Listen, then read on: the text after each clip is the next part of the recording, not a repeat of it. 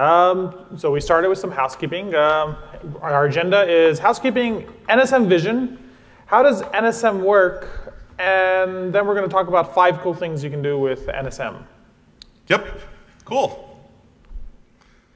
So from a housekeeping point of view, um, we have up here two QR codes. The one on the far left there is actually going to take you to the Network Service Mesh website. So if you take out your, iPhone, your phones and you point them that, it'll take you there.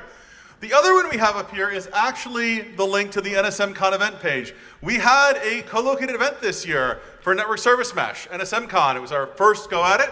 Went really, really well. Um, a lot of really amazing talks, very full room. Um, and there's a lot of collateral from those talks there. And in particular, um, this is sort of the zero out of six, uh, five cool things for NSM. When you actually have a community that's doing a lot of cool and interesting things, you can actually borrow some of their content for your five cool things to do with NSM Talk. So for some of these, we will also have links directly to longer talks about the cool thing where you can get even more information. I, I highly recommend taking a selfie with these QR codes and posting it on Twitter. exactly. Um, and then one last thing, the slides themselves you can get from the QR code in the bottom corner. Cool. Um, wait a few more moments before we uh, move it forward.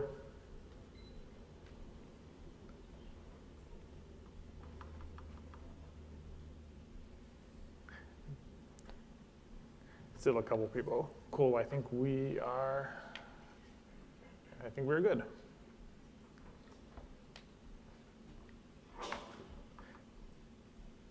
Sorry, there's a couple last stragglers. Okay, we're to move on now. Okay, so uh, vision. Cool. So NSM Vision. So like, one of the things we've realized as we've gone through this is network service mesh can do a whole lot of things for a whole lot of folks. It solves a tremendous number of problems that people have, but you need a vision to tie it all together. And as we've evolved forward as a project, we've figured out more and more about what the fundamentals of what we're doing are. And so we've sort of summarized some of that here for you in NSM Vision. And to begin with, I want to talk to you about runtime domains. So when you have a workload, you have to run it somewhere. There's some place that you run it. Back in the old days, we'd run the workload on a server sitting in the data center. That was our runtime domain. Then VMs came in and we'd have some virtual machine manager where you would go and you would run a system of VMs on it. And that would be your runtime domain. And now as we move forward into the cloud native revolution, um, Kubernetes a single Kubernetes cluster is the runtime domain. That's the place that you run your workload. And then running things is good, but how many of you actually have workloads that are interesting if they can't talk to anything? Wow, we actually have one. Quick, I'm really curious. What workload do you have that's interesting when it can't talk to anything?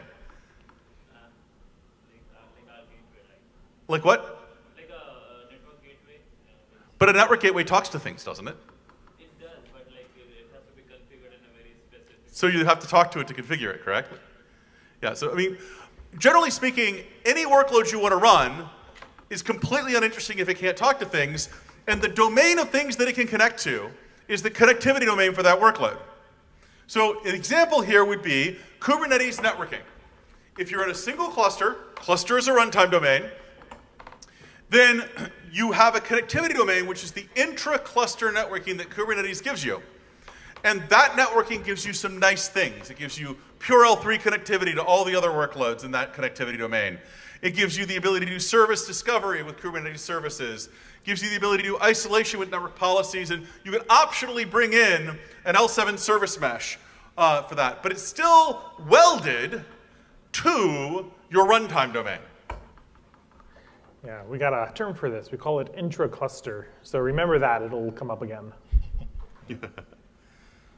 and so the, the problem with this is Kubernetes networking is great if you're within a single cluster. If you have microservices that have to go east-west, if you have databases that need to be available across multiple clusters, now you've got a problem because you have this really cool connectivity domain within a cluster, intra-cluster, but there's not any one good simple solution like that for running between connectivity domains. And this is where a really central realization came to us for Network Service Mesh. And that central realization was why are we welding our connectivity domains to our runtime domains? I mean, when you write an application and you have a bunch of microservice workloads that make up that application, what you really care about is being able to communicate with the workloads in your application. You don't really care where they're running. You care who you need to be able to talk to. And so it's actually, when you think about it, kind of unnatural to weld a connectivity domain to a runtime domain the way we have. And what you really would like to see in the system is you would like to be able to have the ability for workloads to connect to the other workloads that they're interacting with, no matter what public cloud they're running in, if they're running on-prem, or if they're running in different clusters, wherever they may be. And so NSM provides the solution to this problem. Now, first off, we leave the intercluster networking completely alone. Right? We do not have a CNI, we do not touch your CNI, we leave all that alone. All your Kubernetes networking, we take great care to make sure that it continues to function the way that you're used to it functioning. Um, we leave that be. So we're completely harmless to the existing Kubernetes networking. But we allow you to have connectivity domains in addition to the Kubernetes networking. And your individual workloads can connect to these connectivity domains and pass IP traffic between them independent of where they're running. So two examples we have here. One is a DB replication connectivity domain. And this one is just basically giving you L3 connectivity between any workloads that are connected to it. So you can run whatever weird protocol that you run in order to replicate data between your databases, which is not going to be HTTP most of the time. That all works. And the only people talking on this domain are things that have been authorized to connect to the database replication domain. And then we also have an example with a single instance Istio, but we'll, we'll talk more about that as we get to the examples. Cool, so I'm going to hand off to Nikolay now. So yeah, all these nice things that we're going to show today, they're basically uh, based on several fundamentals that we have built into NSM, and one of them is the definition of network. I think we have a question. Yeah. Um, Maybe a simple question. I mean, you NSM, so I wonder how you guys host yourself on a Kubernetes cluster? Okay, so th- th- we don't actually have slides on this, but I'm happy to answer. So the question was, uh, he said he's new to NSM. How do we guys host our? How do you host yourselves? And, and the answer is that from NSM's point of view, there is something somewhere that provides the network service. Um, often, that something may be a pod or actually many pods running in various different clusters. So one thing you might imagine if you have a virtual L3 domain, and we'll see this example, is that you actually have uh, what we call a network service endpoint running in each cluster that allows you to have that virtual L3 domain. So all the things within the cluster connect to that virtual L3 in their cluster. The virtual L3s in different clusters connect to each other, and they're morally just routers. But we don't really focus on the routery bit because how many of you actually care about routers? Okay, we have two. I bet you're networking people. Are you sneaky networking people? M- most developers don't care about routers. They just care about their IP traffic getting to the pe- people they addressed it to. So distributor the clusters? Sorry, what? Distributor echoes the clusters. Yeah, essentially, yeah. But anyway, back, back to Nikolay. Maybe there are other questions? Um, okay, so um, when we say network service mesh, it's essentially network service and then mesh. So it's not a service mesh with networking. So uh, network service is an essential concept for us, and we have a, a special way to describe it. Okay, not so special. It's traditional for Kubernetes based on custom resource definitions. Uh, and um, I'm going to show you how it like a little bit of deep dive of how it works, and then we're going to demo it. So this is the first cool thing that we're going to show you. Um, I'm echoing a little bit, okay. so uh, essentially the network service descriptor is a, a CRD of kind network service. It's from our own network service uh, mesh.io uh, API. Um, and uh, um, it, it has a few um, essential components. It has a name of the network service. Uh, it has a payload type, um, which um, uh, we are really proud that it's not bound to any specific protocol. So we are showing IP here, but it could be virtually anything. Like it, it can very easily be Ethernet or some other strange exotic things. Like uh, whatever people need. And then we, we have the matches. So these are uh, essentially label matching, uh, what we're showing here, what we're using label matching techniques.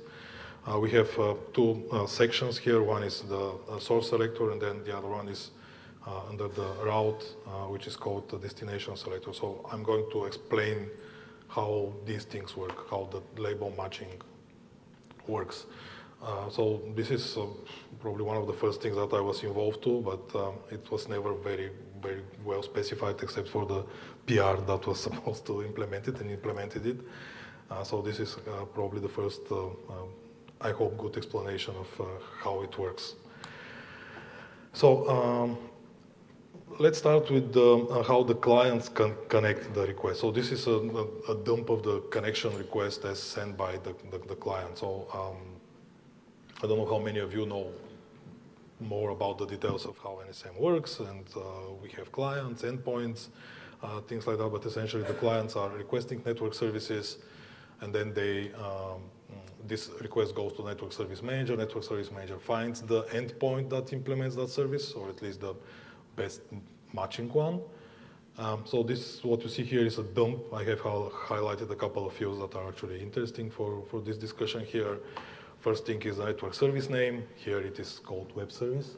I hope it's, you can see it um, on the screen. Uh, and then uh, there is a, a map of uh, uh key and value, so, which we call labels. So these are the app uh, and proxy. Uh, um, app, the up label is a proxy now, and the color label is red. so it's sim like whatever we have here, it's similar but uh, just uh, uh, sent as a request. So this is um, a dump of the st structure it's sent over the wire. It's a gRPC call, so we're just dumping the structure here and to see that. Then um, effectively what networks, uh, what network service manager, uh, actually our distributed control plane, what, what it does with this uh, request, it gets these fields, the um, the name of the web service. It uh, looks through the uh, catalog of all the network services that are defined in its domain. It finds the proper service that's requested. In this case, this is web service. Uh, and then it starts uh, matching the source selector. So the source selector is essentially the source of the request.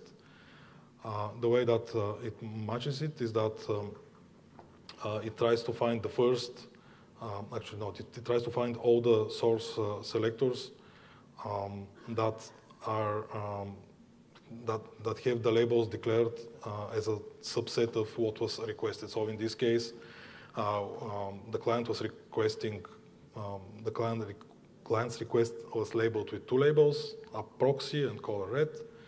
Uh, but uh, we have only a proxy as a source selector here, so this this this will match. Now the next thing that that we need to to do actually what the network service ma manager does is try to find where actually uh, this request should be routed to, how to find the uh, endpoint. Um, but before that, um, let's see how the endpoint registration works. So at, at the time of its instantiation, usually it's not mandatory, but at some point in its lifetime, the endpoint can and should register itself if it wants to be found, of course. Um, um, so uh, in this case, this is the dump of the, the specific uh, endpoint, uh, which, which announces itself that it um, um implements the network service called web service. Uh, and then it says, okay, I'm labeled with app uh, nginx and color red, meaning, okay, I'm an nginx application, and I will serve something that is colored in red. We'll see what it is later. Uh, and then um, here um, we have a little bit of discussion how the destination uh, selector works. Uh, it's effectively the same uh, as the source selector works. Uh, it tries to find uh, a, a, specific destination, actually the endpoint that has app equals nginx at least. Uh, and because uh, this specific endpoint has announced itself that it, it is an Nginx application and it has color red, uh, it has at least up uh, uh, Nginx, so it matches. So that's, that's how, how the things work, more or less. I mean, there are a lot of more details. We're not going deep, just like a rough um, overview of the selection. So um, we'll discuss the specific example that, that I'm going to show you how it works. It's a live demo, so fingers crossed that it's going to work. Um, yeah, um, as an effect of all this discussion, essentially on the right here you see a full, um, the full, uh, the, the, description of the network service. This network service, this is a very basic one. It essentially says, okay, there is a network service called web service. It's going to be of type payload. Uh, and it's going to select all the uh, endpoints that are uh, labeling themselves as Nginx at least. Uh, and this is going to happen for every request that comes from the proxy or at least the, request itself is labeled as proxy. Um, just a slight divergence of the slides here. Um, we have um, a little bit of in the works um, authentication um, initiative, which uh, uh is uh, based on SPIFFE Spire uh, technologies and ideas. so this will slightly change how this works in practice, but let's say that for simplicity, we're talking basics. So whoever sends the request which says up equals proxy is going to be matched as a request and it's going to go to the Nginx service. Um, this is a slightly more complex uh, example where actually we have two match sections. So the first section here on the right is um, if the request requests also a specific color, it says, okay, I'm the proxy and I would like to get to a service uh, that is labeled with uh, red. And then we are trying to find a service that actually is labeled with red. And uh, it's, it's, not, it's not about having the specific, exact specific names here. Um, now that I look at this, I realize that probably I should have done it slightly different. Maybe we could do it version one, then version one returns red, like, you know, there are some other popular examples around. Um, so based on this, how this works in practice, let's look uh, slightly more interesting pictures here. Um, so this is the, the overall picture of how the web service uh, architecture that I'm going to show you how it works. So essentially there is a proxy sitting um, in front. It's a, a reverse HTTP proxy. Uh, it sits there, accepts uh, uh, requests. Uh, we'll discuss a little bit how it works, like how it's implemented. But effectively, from network service mesh point of view, it generates a request which says, which says, I would like to connect to, to the service called web service, and I'm sending, I'm labeling my request with these two labels, sub proxy and color red. Then, of course, this will pass through the um, matching engine as, uh, as we have ju just discussed, uh, by, uh, in, which is implemented in Network Service Manager, and then it will select one of the three services which are labeling themselves uh, as Nginxes and then different colors. And all these three are bound by the same web service. So essentially, all of them, they, they're implementing the same service, but depending on the labels, uh, uh, a particular connection is going to be established. So in this, in this case, this is the red one. So let's see how this works in practice. I have this deployed here. Um, I hope it's still alive and works. Um, so uh, I will remove the verbose. So we are sending a request. Let's see, it probably is not seen. Is it, um,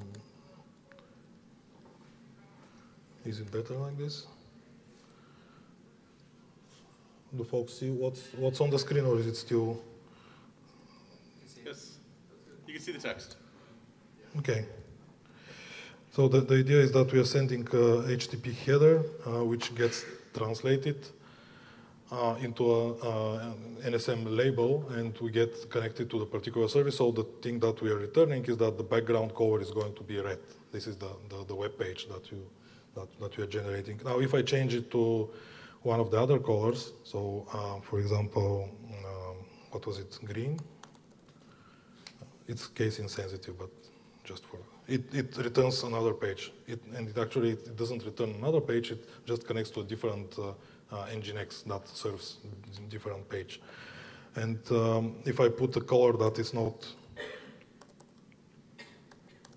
that is not de declared, it gets red again. But if I run it again with yellow, it will return me green, if I run it again, it will return me blue. What's going on here? I mean, probably people are going to ask themselves. So let's see, return a little bit here. So what actually happens is that if you send a request that is not labeled or has a label that cannot be found, it will find a set of endpoints that are implementing the same service and have the application uh.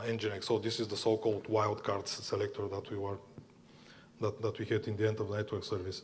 So what happens is that effectively network service manager does a round robin across these services. So every, every time you send a request, it's going to do the red, then the green, then the blue, then the red again, and so forth. Uh, so what we see here with this, even, even if I remove the whole uh, header, I don't send anything here. Uh,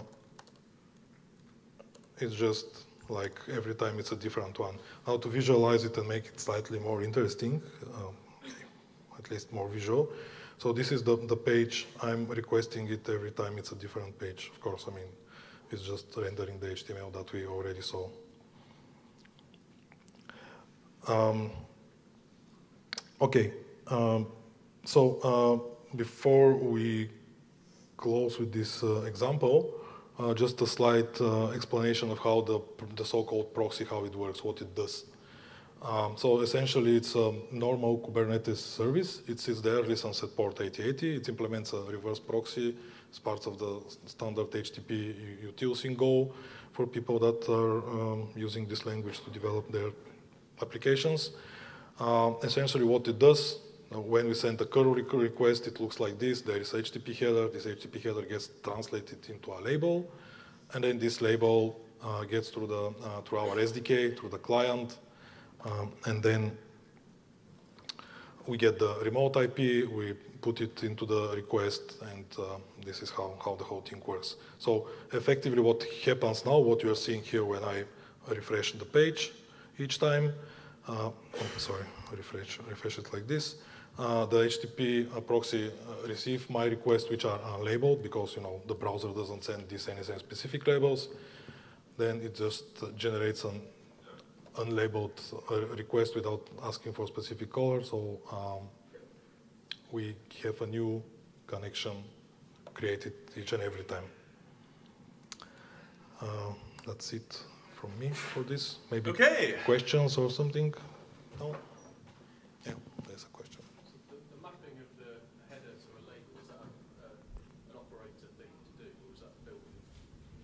No, no, no. This, this is not part of NSM. This is just an example NSM application. So how you can use our SDK, yeah. how you can integrate it with. It's a really web. quick way to see how you can basically exercise the selectors. Yes. The question, the question was, um, would you repeat the question? Yeah. Excellent. Thank you. Uh, the question was where you've got the map, uh, the header to a label. Is that a, a built-in function or something you write as a as a as a user of NSM? Oh, so the, effectively, the, this is a network service endpoint that just says, okay, I'll, I'll, translate HTTP to plumbing like a connection that can carry IP packets to something else, correct? Yeah, it's, it's part of our examples repo. Everyone can yeah, go and just, check it's, it. It's a handy uh, example for exercising matches. Yeah, that's so, so uh, Thank you. An important point about all this stuff as well is, so where all of the connections that you're saying uh, that we're performing with NSM are at the L2 and L3 layer. So normally these type of things when you see in application uh, meshes, they're generally at the, uh, at the TCP level. And so the, the reason for this particular demo is specifically just to demonstrate how this particular component works.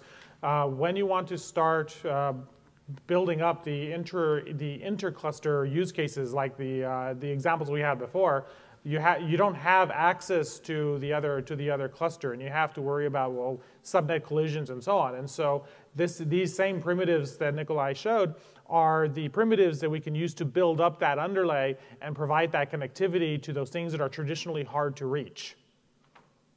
Cool. Mm-hmm. This is just a nice visualizable way to show things.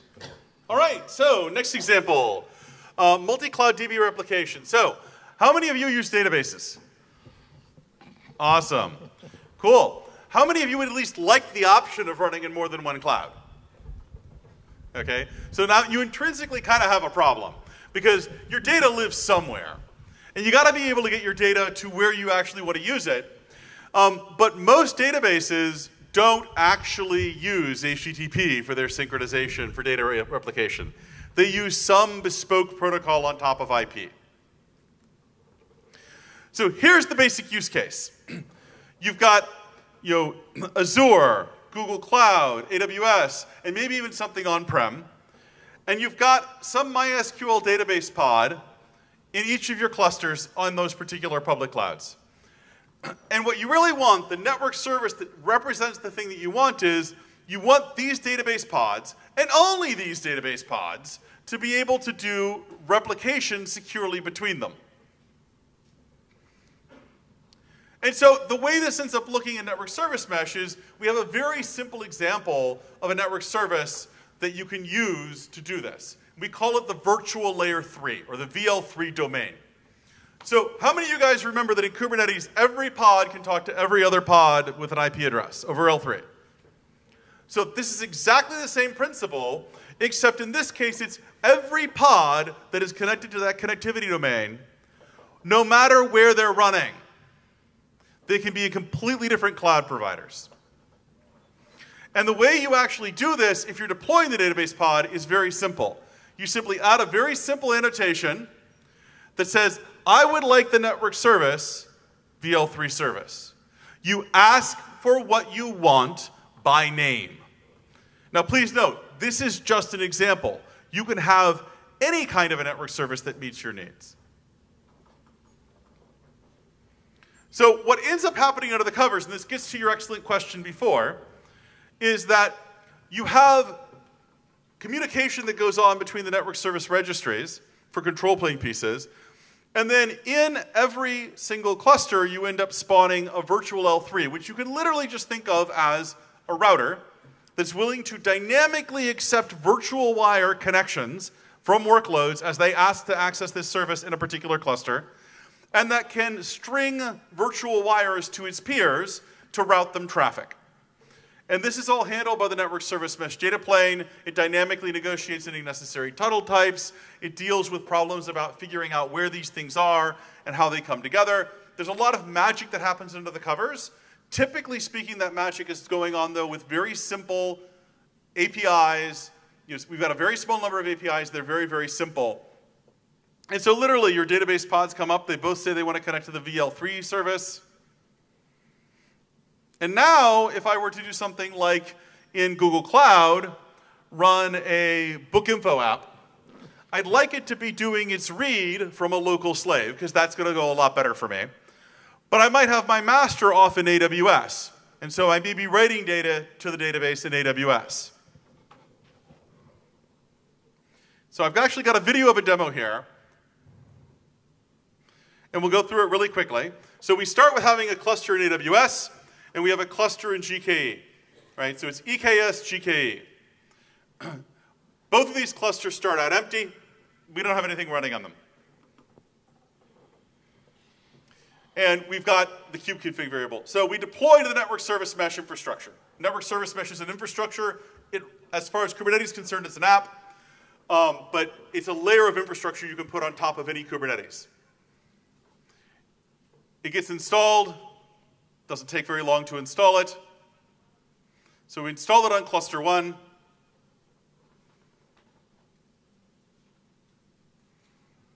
Then we go ahead and install it on cluster two.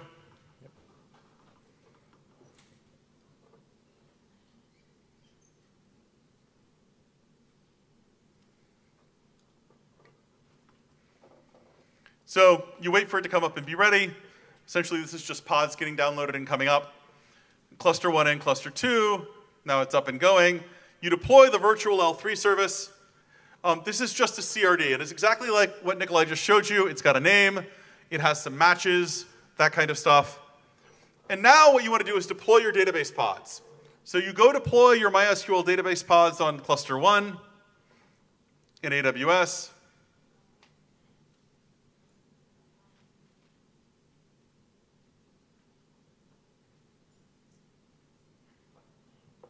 And we just give you a little information about what's going by there. You can see that it's got the annotation that says it wants the VL3 service. That means that it gets an extra interface dropped into the pod. that has a set of IPs and routes that are compatible with your local cluster. We take great care to do that. So that you have basic IP connectivity, and when you try and reach between these two databases on IP, it will go out that extra interface.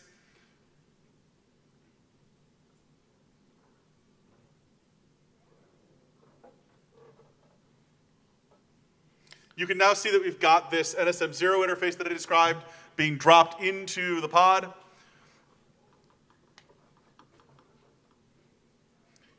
And again, now you install the replica slave. It becomes very much the same game. You go and install this, but now you're installing the replica slave on GKE. So it's a totally different cluster in a totally different cloud provider. And again, all you've done is add that one annotation to the pod to express what it is you want.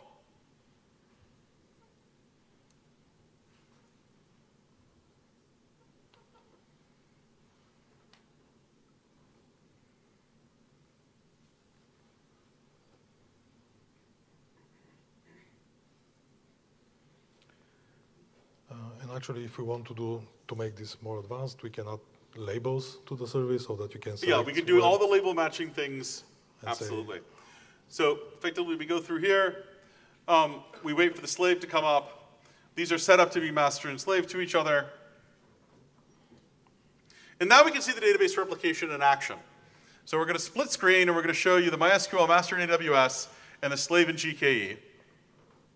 You'll be able to see as we go through that they are mastered and slave to each other. They actually are up and connected, even though they're in completely different cloud providers. Quick question, because we do have the video rolling. I got to keep going. Yes? So how the inter-registry discovery works, is it by external IP? Uh, Uh, in this particular toy example, we, we actually can support DNS over it. I can get to that.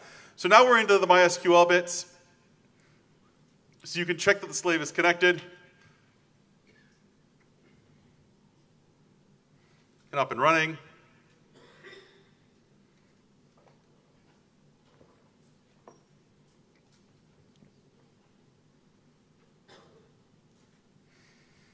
You can go and see the databases match between the two sides.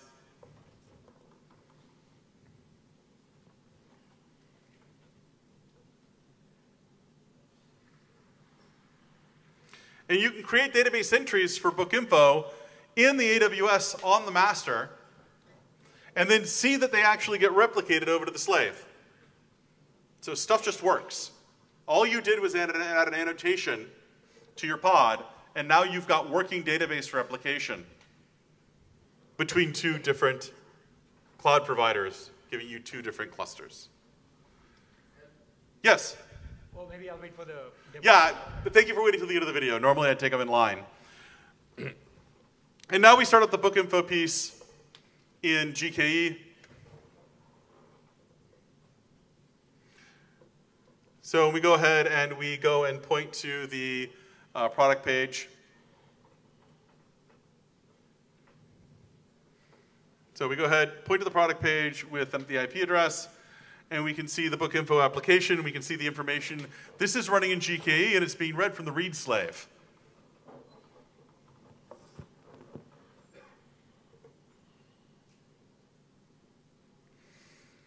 And you can see that the ratings are accessible uh, in the slave.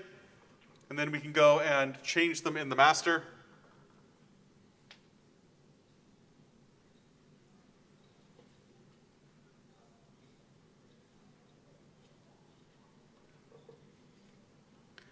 And if we go back to the book info, now we reload and we see that in the, the book info that's pulling from the read slave, we've got the three stars. So we've just demonstrated to you successfully adding an annotation to your pod and having databases that can replicate between two clouds. And we're now going to show you five star change, uh, change to five star review and see it again. This is the one problem with canned demos. I will absolutely get to your question in just a second. Let's just make sure we run off the end of the video. Yep, so you can see it get to five stars there.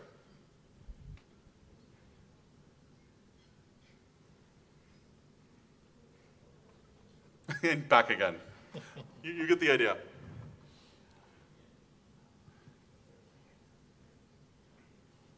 Maybe we can take the question. Yep, so now we're at the end of the, the, the demo. So back to questions. You had a question. Yes, you. Yeah. Well, my question was more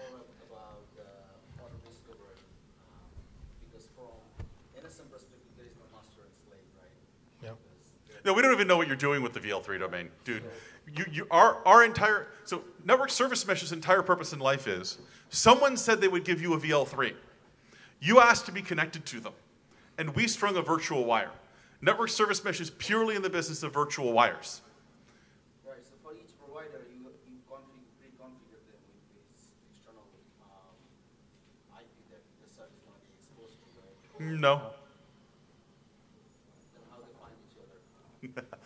So network service mesh actually has the ability to do discovery of service registries using DNS to look for a service record. So you can have different domains and find different service registries. Once you've got the service registry, you can figure out who can provide that to you, et cetera, et cetera. And you can basically make the request get to the right VL3 in your pod. The VL3s are talking amongst themselves. So all network service mesh knows is that you ask for some virtual wires. All the virtual L3 knows is that it's getting IP packets that it needs to route somewhere. Um, and then the fact that you're running database slaves and that's what you're replicating is actually none of our business. We don't know or care. Yeah. Um, I mean, it is the thing you actually care about as a developer, but it, it- there's no point in polluting us with semantic information we don't understand. yeah. Well, then if I introduce another, another provider, right, a second master, some, some second slave. Yep. somewhere, Then how do they register it? Um, So your, your third, let's see, bring one up in Azure, right? In a cluster in Azure, AKS. And you would put an annotation on it that says you want to connect the same network service, the same connectivity domain, VL3 service. It would come up, it would connect to VL3 service, and now it's able to reach all of those other things. Now, and when you get to the real world, we do have the ability for a network service like VL3 to provide DNS. We don't show that in this example. So you could do things with running DNS on that virtual L3.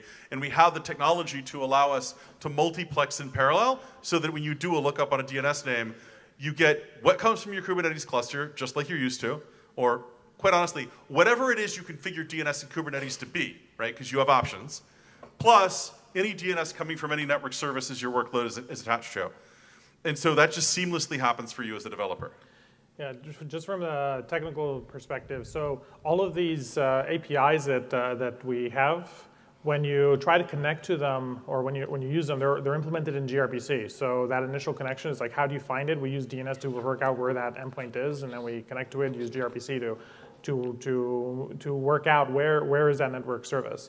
Then that results in another gRPC request of the, of the thing that works with the controller in order to, to actually materialize the, uh, the, the request itself. And so we're able to bootstrap on existing, on existing uh, infrastructure and use that as a control in order to establish the, uh, the connections that you, that you want to, uh, that you want to establish. Yep. So we have other questions really quick. I do want to point out we have a QR code up here right now that will take you to the full talk from NSMCon.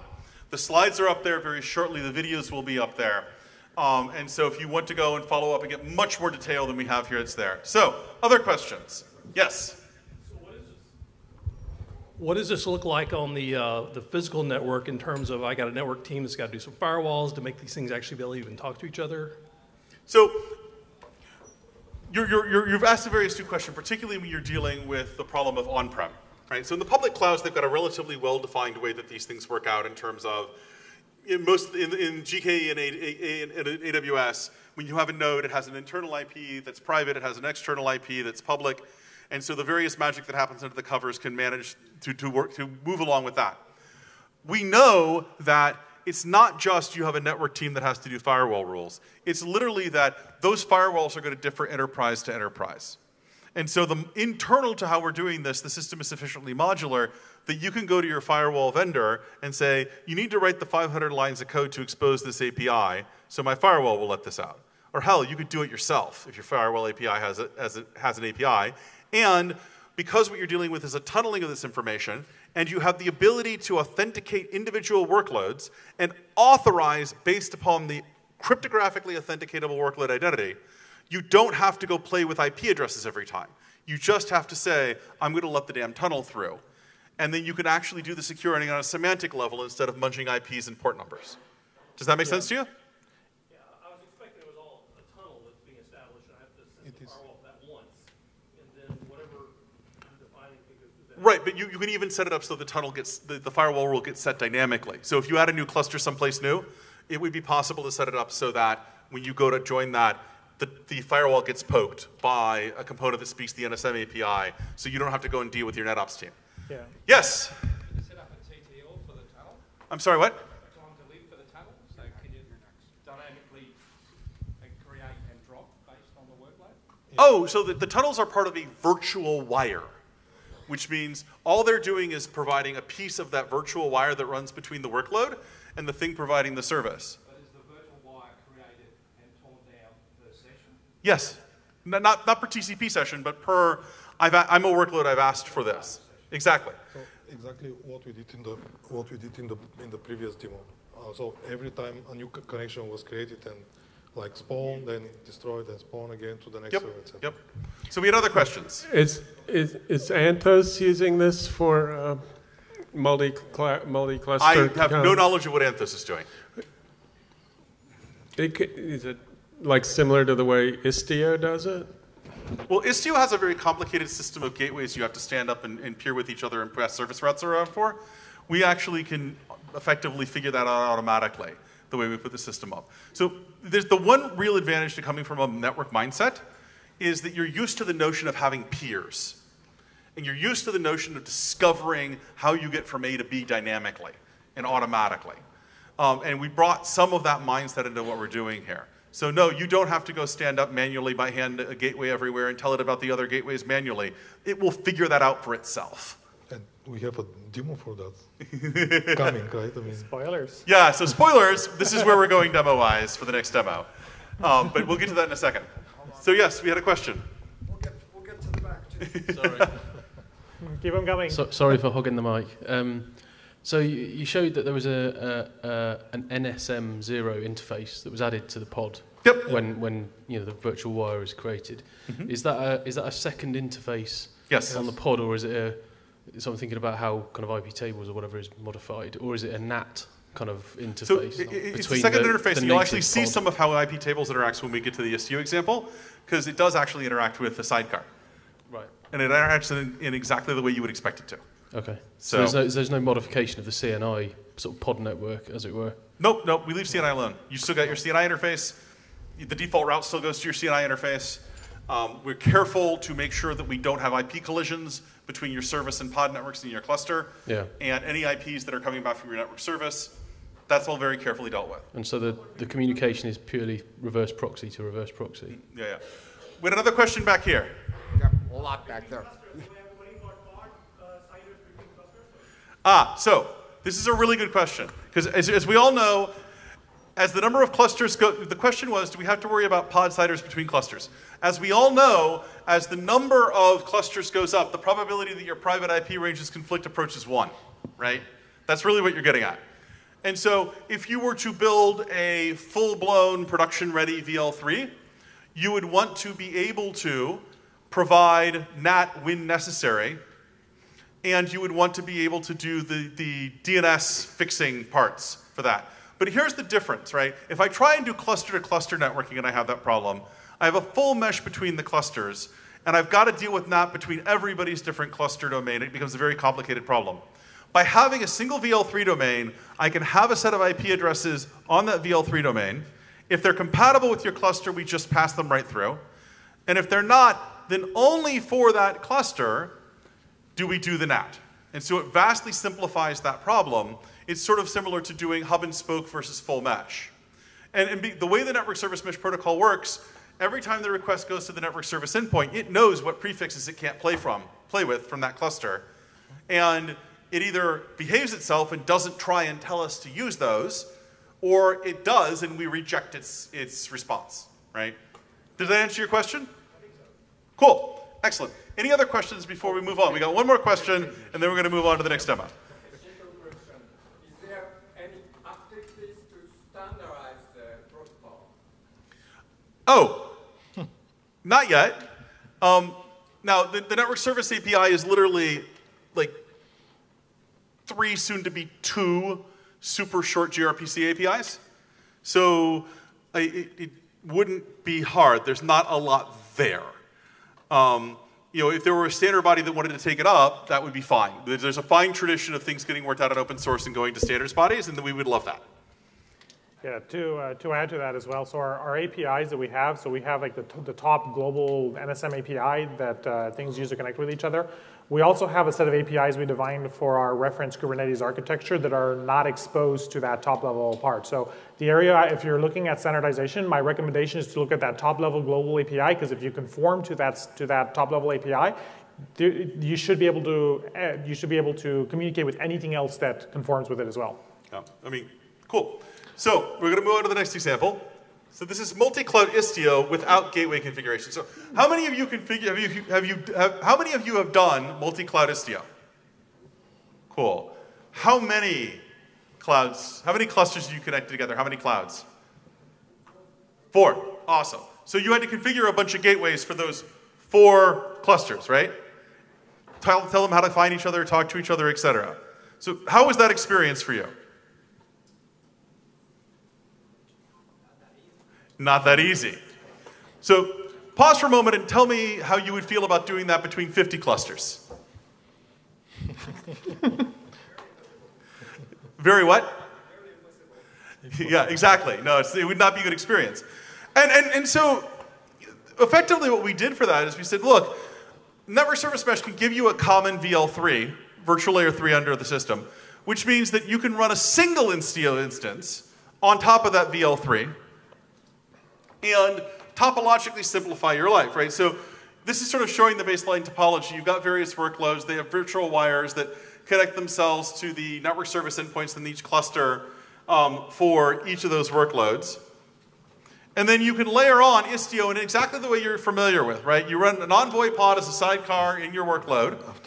And you've got this additional virtual L3 domain, and you have your Istio control plane controlling that now, there's actually a second way you could do it. We call this the alternate approach. This is not the one we're going to demo, uh, and that is to say you could literally make the Envoy sidecar a separate pod that is itself a network service endpoint that lifts up as an ingress to your service mesh. The nice thing about this one, compared to the first one that we're going to actually see in the demo, is that if you have a pod that you want to connect to more than one service mesh, Say that I am a large company with many parts suppliers and I have an Istio service mesh that I'm going to expose on a connectivity domain to my partners. And each of those partners wants to participate in that Istio, but they also may have the same pod wanting to participate in the parts supplier's Istio. With this kind of an approach, you could participate in multiple service meshes that are mutually ignorant of each other at the same time. But it's a little harder to talk through, so we went with the simple one for the, the first pass through. But effectively, the takeaway here is that at the end of the day, you set up one Istio instance, no gateways, and then your workloads connect to be able to reach that Istio instance and get their service. And Envoy as a network service is available in our examples repos. Yeah, we, we do have some examples as well. Someone wants to So in, in terms of what happens in the application pod, this is sort of a bit of the structure. We showed you a little in the previous demo that you wind up with a network service managed interface the network service mesh managed interface for connecting to the VL3 domain. And network service mesh has the ability for the VL3 domain to pass back routes, as long as they're compatible with what we told the, the cluster's using, that says what should go out that interface. So then your Envoy sidecar, in the normal way, your application comes up, it sends stuff, IP tables, kidnaps it, sends it to Envoy. Envoy goes ahead and sends it out, and it hits the route. And at this point, it either takes the default route, it goes out your CNI interface, or it hits a route that matches something for the network service mesh managed interface, it goes out that interface. And so this gets to sort of your point. How does this interact with IP tables? And the answer is we were kind of careful to make sure that it worked out. So this is sort of the topology again of the demo that I'm about to show you the video for. And we'll just walk really quickly through the video. This one's a little bit shorter. Oh, cool, cool. Oh, there's a full screen. Hang on. So, goes through, it's installing Istio on cluster one and, you know, installing Istio.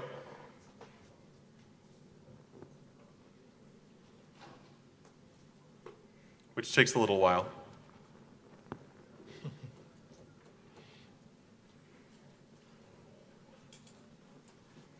So we go ahead and install NSM.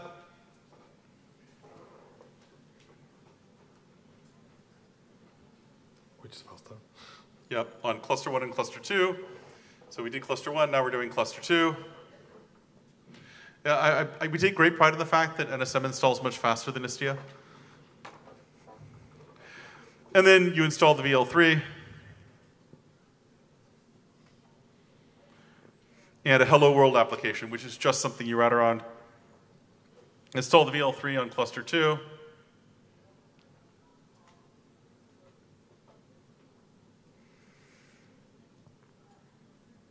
Go ahead and take a look at the state of the clusters. So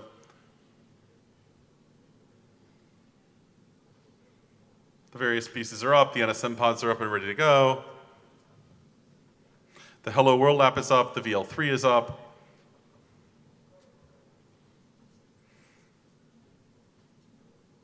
So all the cluster 2 pods are also up.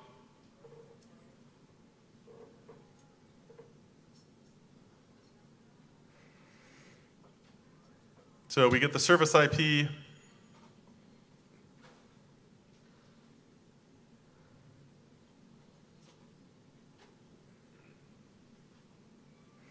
We can log into one of those client pods. So now we're inside the client pod. You have to be inside the client pod to see, really see the magic of what we've done here because not every pod in Kubernetes can reach this Istio necessarily. You can go through in curl and you will see that we're being load balanced by Istio among the various Hello Worlds that are running in different clouds. So we've strung a single Istio domain across multiple public clouds.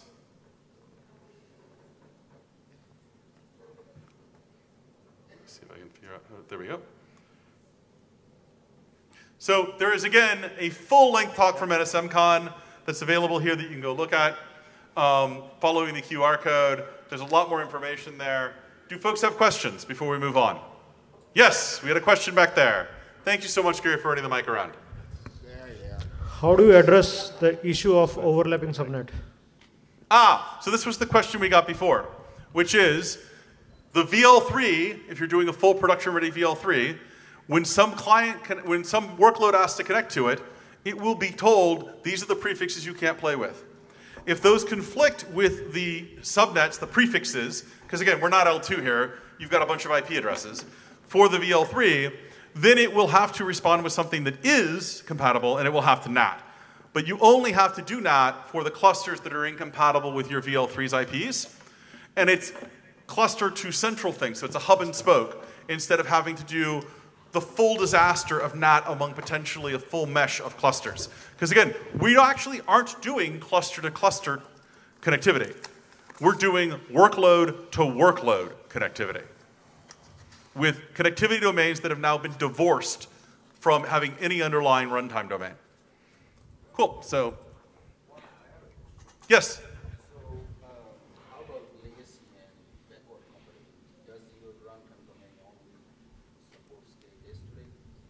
So our reference implementation has been done for Kubernetes. However, the baseline architecture is completely independent of Kubernetes. This is why we use gRPC APIs. We actually took great care. So you saw CRDs in the demo that, that was done by Nikolay. The reason is because when the actual components of Network Service Mesh use the gRPC calls to register themselves or do a lookup, the thing that catches is just storing CRDs in Kubernetes to make it comfortable for Kubernetes. But it could store them in anything. So we are fully compatible with any kind of runtime that you would actually want to hook up from anywhere, including legacy runtimes. Yeah, in fact, um, the last ONS North America, uh, Lumina showed uh, them using uh, NSM to configure a top of rack switch. So yeah, and we, we, we had a, a, a, talk that went by at NSMCon where, in addition to the many, many other cool things that went by, um, the speaker nonchalantly mentioned that he had turned a top of rack white box into a network service endpoint in a, in a couple hundred lines of Go code. Um, didn't even spend a full sentence on it. I was so disappointed. He was doing other cool things. He said it really nonchalantly. Sorry, what? In principle, you could. Yes. Any other questions before Frederick moves on to his demo?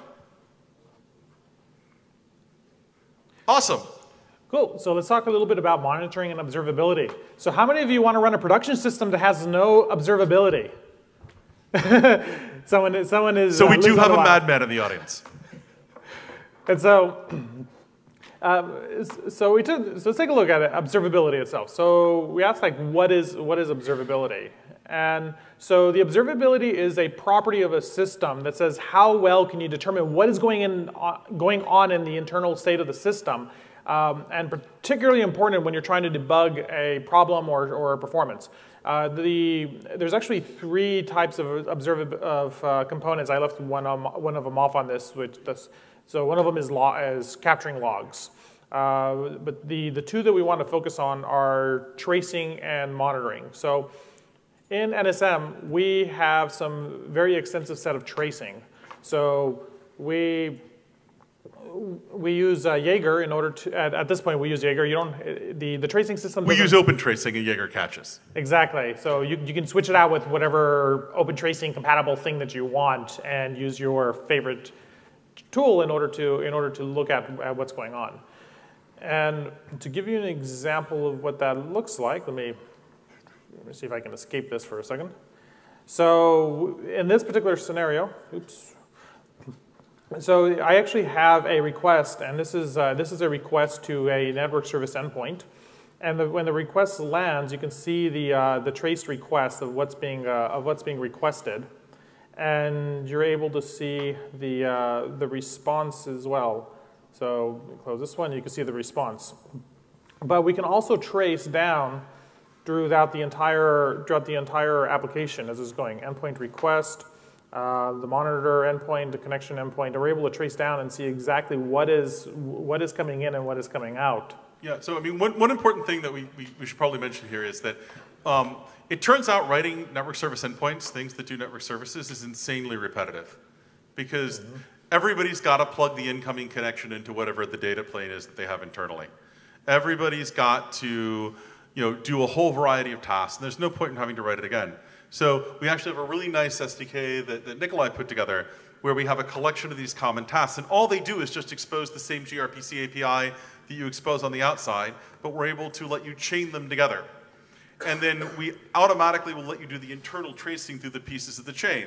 So if you're trying to figure out what's going on, you can say, well, okay, um, I got into my network service endpoint, and when I got to IPAM, IPAM had an error. And that's the part of the thing that had an issue. So this makes it super easy to figure out not just which microservice broke, but which SDK component broke in the system and proceed from there. And so, and so in this particular um, in this particular system, so we're able to to uh, collect and, and aggregate all of the information uh, across multiple systems. So it gives you a tremendous amount of power of, of visibility into the into the actual request. When you have an error, then uh, depend, depending on your logging system, it'll show those, those errors in a, in a, uh, in a very clean way. Um, we, these particular systems typically use UDP, so if, um, if a message is lost, in, traditionally you don't want to try to, to resend the message, you want to fire it off and, and forget about it. Uh, and the reason for this are primarily from the performance side because uh, log, these type of tracing logs uh, can get quite, uh, quite extensive and you're better off shedding load rather than uh, trying to absorb it all in with, with TCP uh, resends. And so, so that helps protect your system from, uh, from, too much, uh, from too much information. But these particular systems uh, that have been built in the cloud native space uh, have amazing scalability, and, we, and they'll continue to get better over time as people spend more time building them out. Um, another thing, I don't have a, a, demo of it at the moment, but we also have monitoring. So all major events in NSM are monitorable. So when you make a, a connection request, you can monitor that particular connection, and that connection will tell you a, a, a, significant quantity of information about the connection on the condition you have access to, to see that information. And so what this allows us to do is that because we can see both sides of the connection, we can like we can send the packet in, we see on the other side that the other side received it, received it properly. So we're not in the business here of trying to resend, but when you're trying to debug a system, it's like, oh, has a link failed? Well, I'm seeing a thousand packets on this side and zero on this side. Well, we can we can say, well, something's probably failing on, in that in that environment. Uh, we're, we also are able to use that to work out the overall uh, topology of, uh, of the various connections that you're, that you're using. So you can work out where they've gone, what connections have been, have been made. So if you're training, if you're chaining a pod to a firewall, to an intrusion detection system, to a VPN gateway, and so on, you can tell exactly where these type of things are, are going through. And so uh, when we start to get into, uh, in the future, as we start to get into the security aspects of, of NSM, that'll help give us the ability to work out, is this thing taking a path that I expect? Like perhaps you're a vendor who, or you're, you're an operator and you care about what path. Like I have some systems that, I'm, that I have agree- legal agreements with. This is actually really important in a medical uh, industry. You have certain groups you may have legal agreements with and some and some that you that you don't for for like HIPAA requirements. So as you're starting to as you're starting to chain them, you're able to get a list of all those things you're connecting through, and then you can say, is this is this a chain that I that I like that I that I agree with, and to be able to to say yeah, yes or no and reject the entire chain, and the chain is cryptographically uh, signed by each of the each of the components, and what's and including what came before that component and what they think they're connecting to, to next. So when you have that entire list of, of, uh, of chains, it's, it's very similar to, a, to a, like a miniature blockchain. You're able to perform some pretty interesting analysis on, on that particular system. Another thing, so this is uh, the majority of our API in terms of monitoring and connection. We have uh, two more versions of this, but they're almost exactly the same thing. Uh, this one, it takes a selector let me see if I can get that uh, thing off. So you can see on the very bottom, it takes in a, a selector. That's actually the, uh, the RPC itself. And so anytime that a state transfer, like you have a state transfer that occurs, or you have uh, something that gets updated or something gets deleted, we, we expose a, uh, an event on it. So this gives you a tremendous amount of observability and we do it in a way that, that does not centralize all the information all at once. Instead, you can install components and, and monitor the things that you care about. So this is really important in terms of scaling because uh, when, you're when you're looking at, at, at large scale, you don't want to have a central system where all of your events end up in that single place because you will, you will overload that system. Yeah, this is super important because it's important to remember that network service mesh as a system was designed to scale at internet scale, right? It was designed so that you could come in and say, I've got a workload, I need to connect to a VL3 domain from a partner of mine that I've never heard of before, but hopefully we've got some federation of authenticatable identity between us because when I come up, I'm going to be able to get a request to him to join his VL3 without having to necessarily go talk to them. And if they have policy that lets me through, then I'm good to go. I don't have to go at every single pairwise connection and talk to humans and open tickets and negotiate processes. And in addition, one direction that we're also taking this on the observability is we're also using that as a core component to our auto healing. So one of the ways that you get your system to become more stable and more uh, and more effective is you is you use the components that you've built yourself. So our auto healing uh, is set up so that uh, we can we, we can pull up information through the monitor and work out like if your NSM manager crashes, you ask your you ask your clients who who what, what am I connected to, and then you go ask those peers, do you agree with this? Do I have a connection with you? If you do, then you can reestablish that state. If the component that manages the forwarding element goes down, you can do the same thing. You say, ask the NSM manager, what, what do you think I'm, I am? You check your clients and make sure that, that you haven't lost any state, that they all agree. Yeah, it, it, turns out that when you're, when you're talking about connections, vir virtual wires, right, or pieces of virtual wires, which is what we call connections, there's always at least two sides. And that means there's always at least two places the state exists. And so if something restarts or dies, you can get by with a little help from your friends. And those two places are predictable. exactly. Because if you don't know where the other one's at, you can ask one, but. cool. And uh, if your data plane crashes, so your actual, the thing that is actually shuffling the packets ends up crashing, and uh, so you reboot it. And, and then we have enough information that we can then reprogram the, uh, the data plane and then continue moving things on. A few packets are lost, but, you, but you're able to, to recover. So that observability actually builds into our auto healing story that we're, uh, that we're building within NSM. Yes, question. Can you configure how many managers has to be always How many what? Ah, uh, so in, in Kubernetes, in the reference implementation in Kubernetes, each node has exactly one network service manager at a time. Oh, like, like how many VL3 endpoints? Yeah, there's a lot of flexibility there, including some of the stuff we're looking at in the future for dynamically spawning them on demand, because it's probably helpful to have your VL3 endpoint be on the same node as the guy who asked to connect to the VL3. But you don't want to do that if you've got a 5,000 nodes. You don't want to run a daemon set on 5,000 nodes. But if you can, and we're, we're looking at stuff to do this, when a request comes in, you can say, okay, he asked for this. It falls through, the system creates it on the same node, and then you can hook it up to it. You can literally get it so you're just dealing with a scale from zero problem, which is where we're trying to take it. Because you, you're going to have, the, the goal is to make it so that people end up wanting to do a ton of different connectivity domains to meet their particular needs. And so you can't just, in the, the, the, the long term, just be deploying things willy-nilly statically. You got to deal with it dynamically. Yeah, and um, one last thing on the observability. So we don't want to pretend like we know what all stats that everyone's going to care about. So it's also set up in such a way that you can create your own metric and then be able to to capture that metric as well. So if your data plane has something it really cares about and it's important for you to know what that number is, there is a way to expose it into, into this API. Yeah, we're, we're, we're fairly flexible there. Because yeah. we've already seen in the NSM community people thinking of things that never, ever occurred to us that are kind of awesome. In fact, quite a few of them are things you've seen demoed here, right? Stuff that did not occur to us when we started. And somebody said, oh, this is actually pretty easy to do um, and went and produced these things which became NSMCon talks.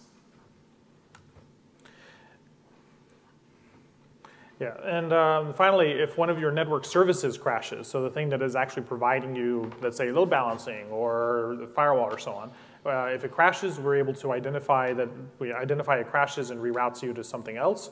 Or if the connectivity between the services drops, as I mentioned before, we can track activity on one side and see if it matches the activity on the other and then use that to, to determine if we're, if we're losing information that's being passed. So this gives us the primitives necessary to, in order to in order to build out these uh, these auto healing, uh, and we're tying it into policy. So what happens with the failure is, is it comes in, it says, do I want to reconnect, yes or no? And, but you also have the option to pass it up the chain and let something above you choose as well. until So you get to something that has enough context to make that decision on, on your behalf. And so this is important because not every failure you, is, you can treat in the, same, in the same way.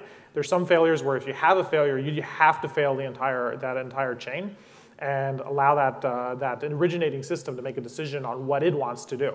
So, so it gives you a lot of flexibility on, on how, you want to, how you want to perform that. But that's stuff that we're currently building. So we can't, you can't use all the auto healing stuff we've spoken about just yet. But uh, that observability is that first uh, is that first major step that we've we, taken. We, we do have the first pass of the auto healing. Yeah, uh, we have we, V1. We're working on a V2. Yeah, we're working on V2. We, we, we usually talk about it. Who here is heard of Chaos Monkey? Where you just have something randomly killing things? So we have sort of Chaos Monkey level auto healing but we think we see our, our, way clear to what I generally refer to as chaos gorilla level auto healing, which is restart all the things yeah. at the same time, and it becomes a blip. That's where we're trying to go. Yes? Can you do what? Ah, so here's, here's the interesting thing. You, you got to a very sort of networky place, and that's good. Um, no, that's fine, that's fine. So network service mesh is just giving you the virtual wires. So let's say I was doing VL3 and I did want to do costs on the connections that are going. So I'm a VL3 router, I got a bunch of clients connecting to me, I've got a bunch of connect V-wires out to my peers, and I wanted to do costs. You as the guy who wrote the VL3 can totally do that.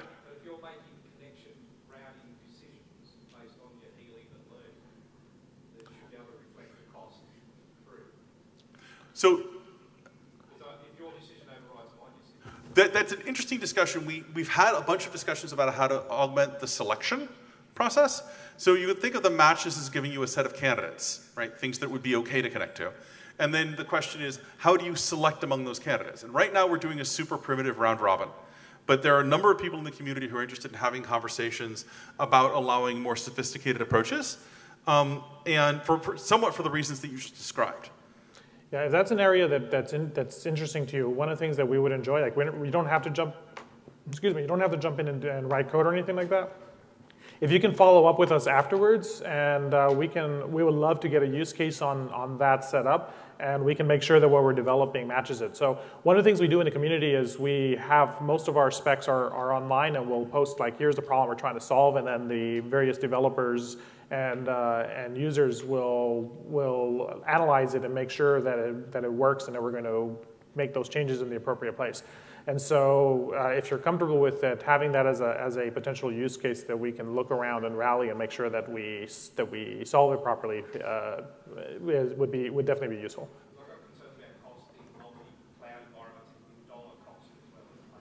Yeah, no, no, that's- no. I mean, um, cost can be all kinds of things, right? um, no, no, that, that, that's, that's absolutely a thing. And I guess that the point is you, you, you can handle it in a number of ways. One of them is the costing you describe on selection. The other could just be put the intelligence for that in your VL3, right? That's another place to put it. Um, we're actually really humble in this space. There's a whole lot of innovative stuff going on, and we're actually rethinking entirely. Where in the Cloud 1.0, everyone thought about vSwitches. Now we're thinking about virtual wires and network services.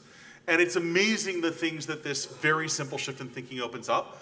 But the really both exciting and humbling part of it is, is that, that we don't, we have an incredible space of what's mechanically doable, but we don't yet know what's wise. And figuring out what's wise is super exciting. Yeah, so even if we don't change the architecture, part of what we want to do is try to establish a set of best practices based upon the experiences of the community so that the community can learn together and not have to repeat the same mistakes over and over uh, at uh, great expense. So that, that is absolutely a goal of ours. Yeah, I think we're, we're running really low on time. When so- were we supposed to stop? Uh, well, it started at 25, and we, so we had 80 minutes. We have eight minutes left? So we have around 10 minutes, yeah, five minutes. I can talk fast. Um, plus, I, I don't think we have anybody immediately behind us in this room. So, the last one, and this is another one that came from NSMCon, um, is per pod quality of experience. Um, so, what is quality experience? So, basically, uh, quality experience is if I got two workloads, probably in different clusters, because that's mostly what our bread and butter is for network service mesh, and I've got some communication that has to happen. I may want different kinds of quality of experience. Maybe I want lowest latency. There are a whole bunch of use cases where latency is super important and means huge numbers of dollars. Maybe I want util- use- least utilization. Maybe I want, as you pointed out before, lowest cost, right? There are all kinds of things you can sort of optimize for in that regard. Now, when you get down to the networking brass tacks, mostly we've talked about stuff that's super familiar from a developer point of view. We're going to get a tiny bit networky here. Um, when you talk about this in a networky world, what we're really talking about is selecting particular traffic engineering paths through your network. So there are a lot of ways to get from A to B. You're going to pick the lowest latency way, or the lowest utilization way, or the lowest cost way. And some examples of sort of applications where you care, high frequency trading, dude, th those guys when they tell you that two milliseconds means money to them, they are not kidding. Much smaller segments of time mean money to them. And so being able to say, I want to connect to the lowest latency connectivity network service for this is really important to them. Similarly with telemedicine, you have all kinds of similar constraints for certain telemedicine applications on latency. So how this looks in network service mesh. This, is, this picture probably looks super familiar by now. So NSM provides these vWires to connect workloads to network services. And in this case, they just happen to be network services that do whatever magic it is that causes you to get the quality of experience you need. There's a whole set of hard problems for various people to sell and I, to solve, and I suspect vendors will in some cases, in some cases open source projects will, about writing these network services. There's a huge space there. So maybe some applications connect to the low level, the low latency connectivity network service. Maybe some connect to the low cost connectivity network service. And again, I, I, didn't want to get too networky here. We do have a whole talk that gets into the nitty gritty details of how this works in terms of quality of service at NSMCon. If you follow that link, it'll take you to the talk page. The slides are there for the talk. As soon as the video processing finishes, we'll get the videos up in exactly the same link. So you can go and watch the videos of those talks at NSMCon. Yeah, all of the talks are up there as well, with not just these uh, selected ones. Exactly, all the talks. And then back to sort of the housekeeping, You can get to the Network Service Mesh IO page. There's a community tab there that'll show you how to find our weekly meetings. It'll show you how to find our social media. It'll show you how to find our code, our issues, you know, all the sorts of things you need to get plugged in. Um, and then if you want the slides, they're in the bottom corner there with their QR code.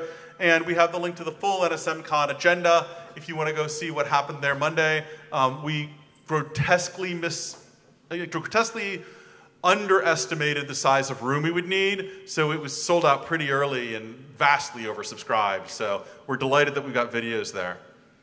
Any questions before we close? Ed, just before we go to questions, I wanted to let you know I just got all the video files. From Fantastic. Day, from the So Day they should be Zero getting up to event. YouTube soon. we, um, Ed overnight created a NSM YouTube channel, which he kindly made me one of the owners of. Um, so we And a bunch of other folks in the community. so um, if not tomorrow, certainly over the course of the weekend and by Monday, if you go to YouTube, search net. I don't know. If, I don't know what you actually called the channel yet. Uh, network Service Mesh. What a incredibly clever I. I'm a man of limited creativity. Yeah. Uh, so hopefully by Monday, all the videos um, from the Day Zero event will be up on the Network Service Mesh YouTube channel. Fantastic. That's great news. Thank you. Cool. Any other questions then? We've, we've covered an incredible amount of material over a very wide array of cool things you can do. Um, so before we close, do we have questions? And, and of course, afterwards, if you want to go talk, we're happy to go out into the hallway and talk. That's always almost the most fun part of the talk. Oh, we got a question. Oh, you guys need to sit closer together. All the question, all the question askers need to They're really just trying to keep you moving, together. Gary. I can see how you allow things to happen, but how do you stop things from happening? Is there a, a security side to this? So we that, that's we didn't dig into this here. There are other slides where we've talked about it. So we use SPIFFE and Spire to issue authenticatable identity. We're in the process of integrating with OPA so that you can actually do uh, policy on admission to a connectivity domain. And, and it turns out there's a lot of stuff that's interesting in that area because it's not just, oh, I've got the identity of your workload, I want to admit you. You might also, for example, be willing to admit a workload if it comes from this cluster, cloud provider, geographic region, et cetera, but not from that one. Um, and so we're trying to figure out how to get adequate information into the system so that you can do extremely sophisticated authorization pieces um, quickly. And it, it turns out like we're, we're looking at using OPA, Open Policy Agent, which is freaking brilliant and brilliant at its simplicity. Um, but but you, when you're actually trying to build this game out at internet scale, you wind up with some interesting questions like, how do you handle the authorization distribution problem on the policy? Right? And, and for some aspects of the system, that's pretty trivial. If I'm a network service endpoint that's offering a network service, I know I need to get the policy for that network service. But if I'm a client looking to see, did the response I get back actually, is, am I willing to accept the network service from you? Where I could be asking for any number of network services, that gets to be a much more interesting problem. So we've got a whole bunch of stuff we're looking at around handling the sort of scale of policy. We've got a whole bunch of discussions we're having with SPIFFE and Spire about federation, because ideally, if you want to do this at internet scale, you want to be able to federate the identity spaces with your peers. Um, we, we, we've even bounced around, for those of you who are networking, we've, we've sort of thought about how you distribute these things and bounced around ideas around uh, trust reflectors and policy reflectors, basically just allowing you to have a way to, to just actually efficiently distribute these to the possible people that might ask for them. So it gets to be a super interesting space. But no, we're very aware this is a super important problem. So if you're in the San Francisco Bay Area on December 3rd, I'm going to be giving a talk on, or I I'm scheduled to be giving a talk on, um, on identity and policy using uh, SPIFFE and Spire Open Policy Agent with a 5G context to it. So if you're in, if you're in town on that period of time, if you're not in town, if you, want to know more about it, I'm willing to talk with you as, as well. Uh, but yeah, that's that's something that we want to to tie into into NSM. Well, and the other thing we kind of get excited about about this is being able to have a single SPIFFE identity that controls your admission to a connectivity domain that can that can be used for your microservice requests to the other microservices that you can reach over it. Basically, all the way up and down the stack, a common identity, and Yeah. then a way to express policies about these things. that gets to be super exciting and interesting to us Yeah, because it opens a whole space of, of ability to connect securely. Yeah, and the, and the quick gist of it is that when you take, um, uh, suppose that you take today's policy, like today's uh, approach of security, you create a, a trusted network, create a second trusted network, create a VPN, create access control lists, then workloads with, tho- with those. And then you have to track, well, which access control lists belong to which workloads, because if you want to sunset a workload, you have to make sure you know which ones you're going to affect if you pull, a, if you pull an, an ACL. What, what this drives us towards is workload to workload identity that bring their own policy that reflect across the entire, the entire chain, which means you can sunset a, uh, a particular workload with its policy and not fear that you're going to break the other ones because it renders into, it renders that policy into whether that connection is allowed or not. So you move away from the standard ACLs. You, uh, still have the VPN, you still try to defend your, your network, uh, but you, you solve a lot of problems when, when you drive it down to, to that level with declarative policy and, and identity. So, It turns out IPs are a wonderful way to route things and a terrible way to express policy about who talks to who. So uh, but yeah, I'll go, I'll go into detail with that. Uh, and I, I'll see if they're recording it. If they're recording it, we'll make sure it ends up on the Network Service Mesh YouTube channel. Perfect. With their permission, of course. Yes. So, so thank you guys. See, You've been a- see what happens when you ask engineers questions. You know, Yeah. So I mean, one, I have one last thing too. Um, make sure if you're interested in the project, every Tuesday at 8 a.m. Pacific time, we have a uh, we have a meeting on on Zoom. So you you can find us on networkservicemesh.io and come come join us. We have mailing lists and we are very active on Slack. In fact, our users complain about how fast we are uh, on Slack because it prevents them from playing video games or something. uh, anyway, so uh, please come join us. Yeah, we, we, we're definitely a low latency network service. Um, so thank you so much. You've been a fantastic audience. I appreciate all the really excellent questions, and, and I participate, appreciate you guys actually participating in the process. Um, and we hope to see you in the network service mesh community. Thank you. And out, grab some NSM stickers that we've got there on the back.